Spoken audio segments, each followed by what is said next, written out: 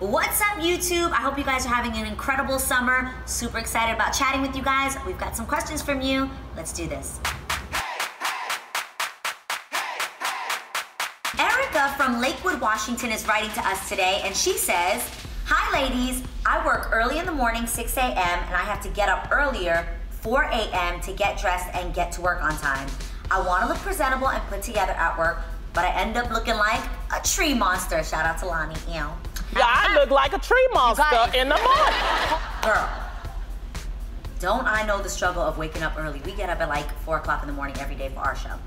Anyway, she continues to say, I just can't find the energy to get up a little earlier to put myself together. I work in a warehouse, so I don't need to be in full glam, but I would like to look like I at least tried. Any tips for pulling it together that early in the morning?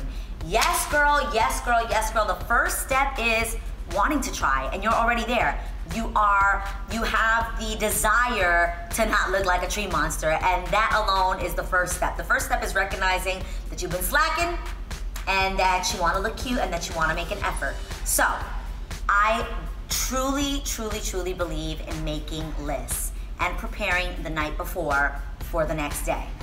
Trust me, this is gonna save you so much time. So simple things like for instance, if you wear your hair straight, uh, you can actually flat iron your hair the night before, and if you wrap it, like uh, I did my hair yesterday, and I didn't want to have to like spend a bunch of time redoing it completely today. So I literally will wrap my hair with a silk scarf, and so that in the morning, the only thing that I have to uh, flat iron is just the front pieces. So thinking ahead of stuff like that, and also making yourself a list.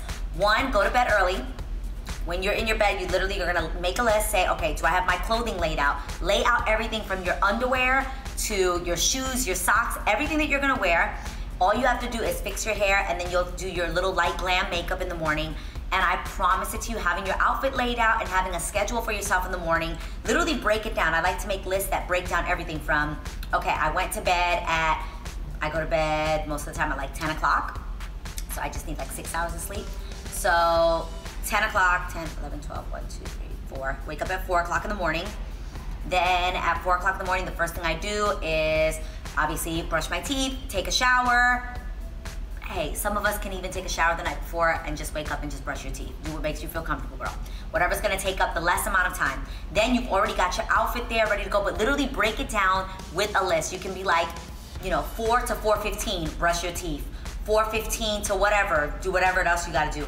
4.30 to, I promise it to you, it'll help you make uh, the most of your time more, more efficiently. You'll use your time more efficiently and you'll look cute because you planned out what you were gonna wear the night before and you're all set. Your hair is pretty much prepped. All you gotta do is a little bit of light makeup and you'll feel amazing when you've left the house and you look amazing.